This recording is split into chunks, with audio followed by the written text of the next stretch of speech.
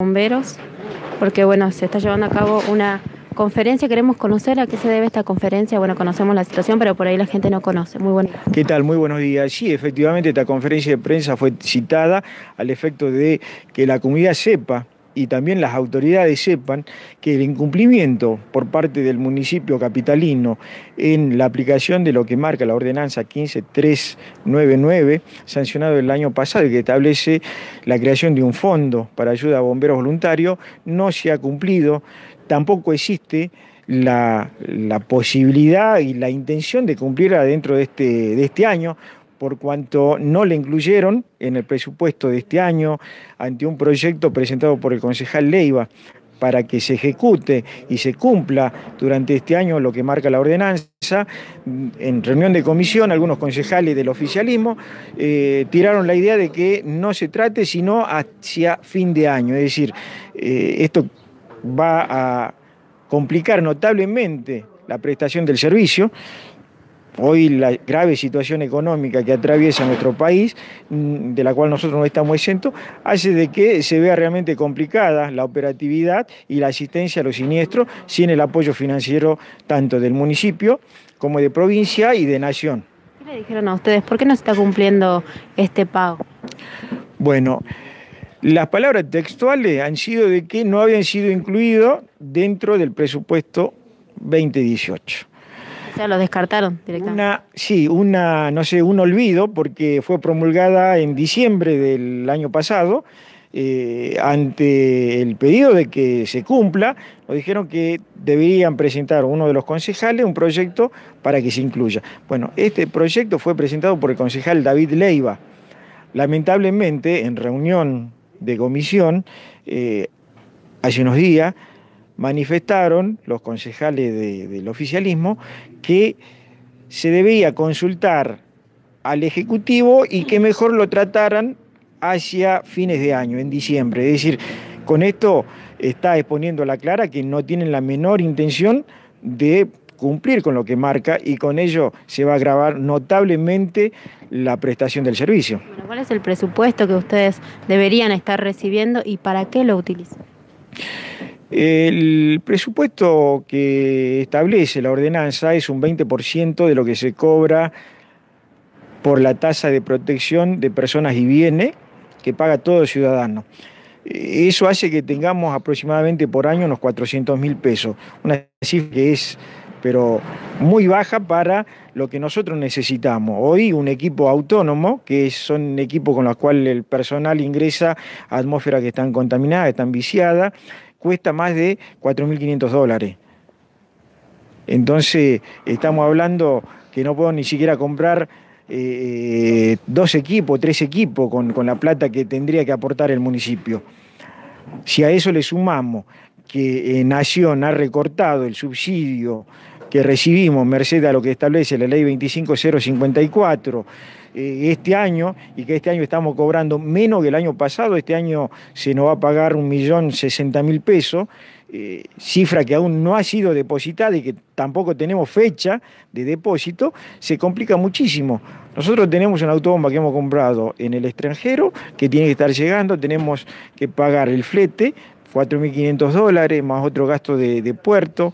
A eso le sumamos unos equipos que tenemos en, en aduana Ezeiza, en la terminal portuaria, eh, la cual por trámites burocráticos que implementó el gobierno nacional eh, y que incluyó a los bomberos dentro de una normativa que es está sujeto a aquellos que traen mercadería para comercializar, eh, hizo de que se dilatara el tiempo y hoy tenemos que pagar más de 150 mil pesos también por estadía de estos equipos, cifra que no la tenemos.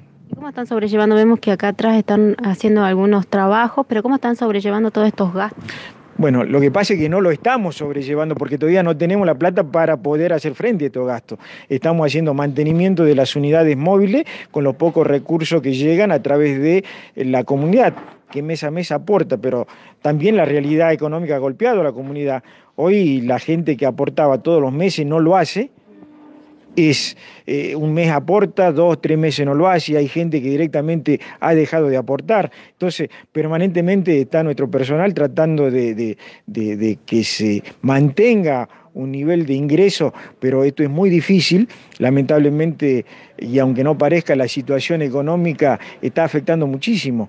Hoy tenemos una autobomba, un, cisterna que le estamos haciendo motor, eh, lamentablemente los precios se han disparado, los repuestos son importados y, y hoy no sabemos si lo vamos a poder sacar, es decir, esto es inaudito, no tenemos los recursos del Estado municipal, el Estado provincial no está apoyando financieramente, ahora eh, nos han prometido una ayuda económica de 100 mil pesos que todavía no ha salido, pero 100 mil pesos no nos va a ayudar, o sea, nos va a ayudar en algo, pero no en todo lo que necesitamos.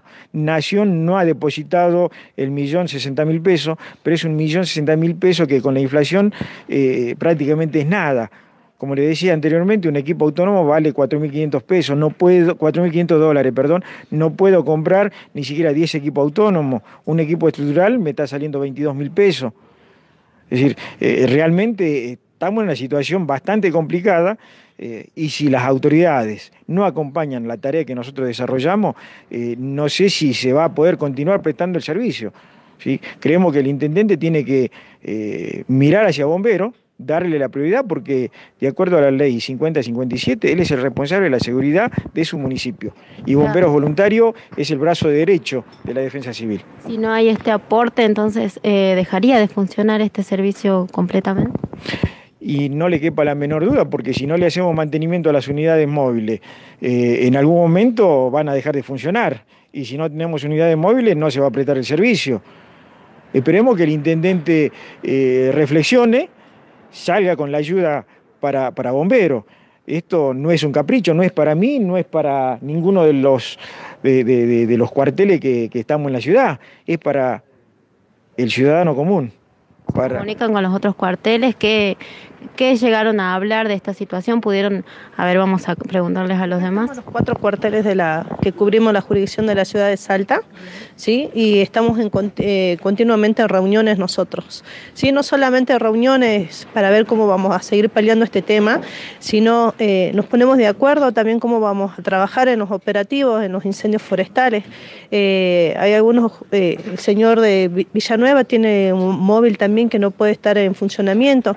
Entonces tratamos de eh, aunar criterio y ver cómo vamos a seguir trabajando, porque no es fácil lo que nos está pasando. Eh, muchas veces hay cuarteles que tienen que poner de su bolsillo el combustible. De parte de provincia nos dan combustible, pero no alcanza para todo el mes. Entonces tenemos que ver tenemos que tener en cuenta que acá los bomberos son 100% voluntarios, ¿sí? Cada uno de nosotros tenemos nuestro trabajo. Acá no estamos pidiendo un sueldo ni nada, estamos pidiendo solamente para el equipamiento o mejora del parque automotor de cada uno de los que tenemos acá. No es fácil lo que nos está pasando, eh, no tenemos eh, ningún apoyo de parte de la municipalidad.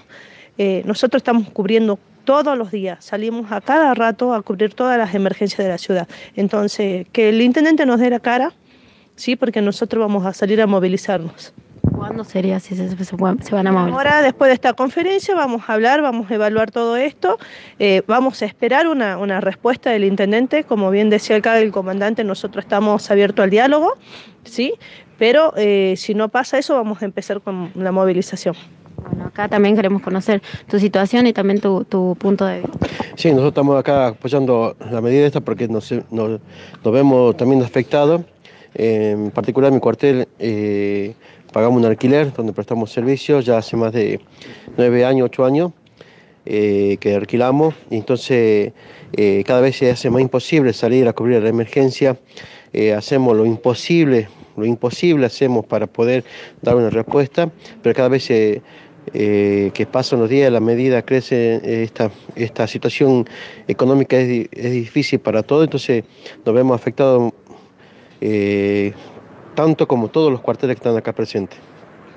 a ver, conocer tu situación también particular, ¿cómo lo estás viviendo hoy?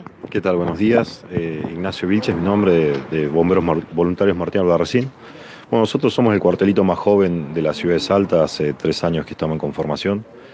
Eh, hoy en día contamos con dos camionetas para prestar servicio. ¿sí? Tenemos, que, tenemos la base en el Aeroclub Salta, y tenemos que próximamente trasladarnos a, montar la base operativa en lo que sería la localidad de San Luis, que es también municipio de Salta Capital. Para eso, bueno, necesitamos el apoyo de toda la comunidad eh, de la ciudad de Salta, de las localidades próximas, para poder brindar un servicio de excelencia como es el que pretendemos, para poder adquirir los, los móviles, para poder mantener, digamos, el, el funcionamiento del cuerpo activo. ¿no? El personal que está trabajando en esta nueva, joven. Nosotros en este momento tenemos 14 personas en lo que sería el cuerpo activo, eh, turnándonos para poder cubrir las 24 horas de servicio. Eh, de hecho, bueno, con esta nueva readjudicación de, de, jurisdicción, nos toca muchas veces tener que viajar hasta la localidad de San Luis, que bueno, es una distancia considerable desde el, desde el Aeroclub Salta pero en la medida que podemos vamos prestando el, el servicio donde nos toca esta jurisdicción. ¿no? Gracias. Muchas gracias a vos. Escuchamos las palabras de los bomberos voluntarios. Vemos cómo están trabajando. Bueno, la situación es muy complicada. Ahora seguramente se van a reunir y van a ver qué medidas toman, porque necesitan recibir este, este fondo para poder reparar las máquinas, para poder tener un buen servicio y brindar un buen servicio a la comunidad.